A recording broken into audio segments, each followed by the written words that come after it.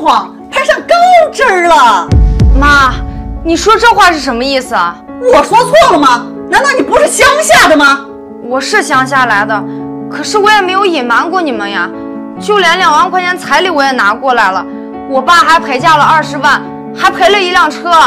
行了行了，我们家首付买了个房，你们家买了个车，怎么了？妈，你就少说两句吧。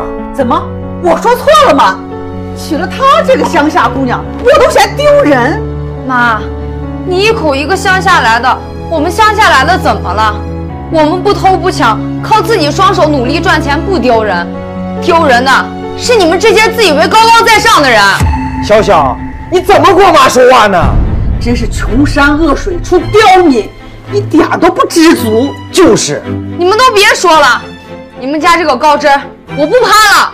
那行啊，先说好了，那辆车我们